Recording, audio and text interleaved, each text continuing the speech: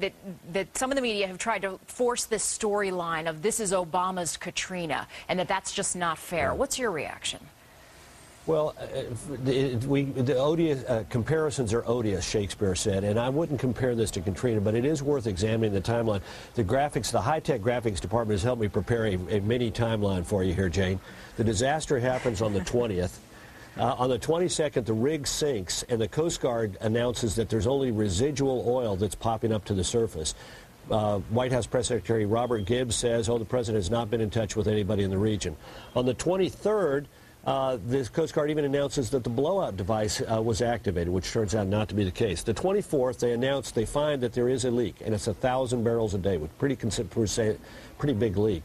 Uh, it takes until the 27th for the federal government to declare this an incident of national significance.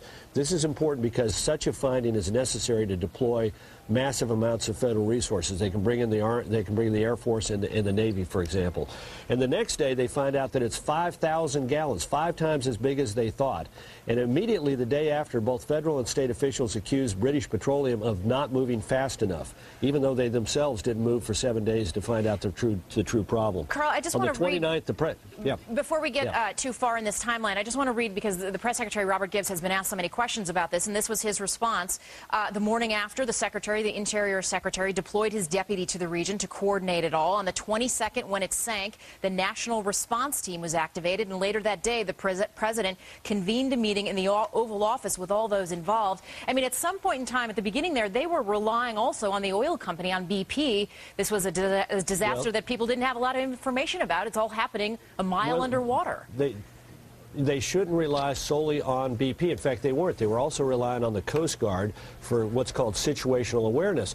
And, and, and look, the administration was trying to distance itself from this at the beginning and properly leave it over at first the Coast Guard and then the Interior Department. But for example, you mentioned the deputy, the, the number two guy at, the, at, at Interior, the Chief of Staff, Tom Strickland, who's also the Assistant Secretary for Parks, uh, Fish, Game, and Parks. He dis disappears for a three-day rafting vacation, a working vacation in the Grand Canyon on the 27th to the 29th. When they're finding out that it's 5,000, he, he, departs the day be, be, before they find out it's 5,000 gallons and doesn't come back until after they've declared it an yeah, incident of Karl, national significance. I know a lot of people are making a out. big issue about that, but uh, first of all, he's not the Interior Secretary. He's not the Deputy Interior Secretary. Those are the bosses of the department. He's a Chief of Staff. You know, I know well what the job of a Chief of Staff staff is, but the administration says he was there on, as you say, doing some work, took a day to go whitewater right. rafting. They choppered him out of there. It's not like the country, the Interior Department can't run without the chief of staff.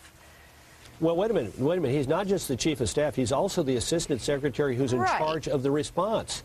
So it's nine days, nine days after the incident, and they have to chopper him. He's gone. He departs seven days after the incident begins, and has to be choppered back out of the Grand Canyon nine days. Now, look, I, you're, you're, the Secretary of Interior needs his right-hand guy there during this. During this, a lot of people were not paying attention to business. Now, look, I understand. I'm not playing this at the feet of the White House because at the end of the day, you have to rely upon the situational awareness available to you by by the lead agency, which at the beginning was the was the Coast Guard, right. and then it was later shifted to the Interior Department. I'm just saying this was a little bit of a muddled response, and the administration is now trying to sort of rewrite history and say we were engaged right from the beginning. No, they weren't, and nor should we expect them necessarily. We don't expect the president to pick up the phone after every natural disaster one or two days later and begin to call people and sort of be in touch of it. It, it was not.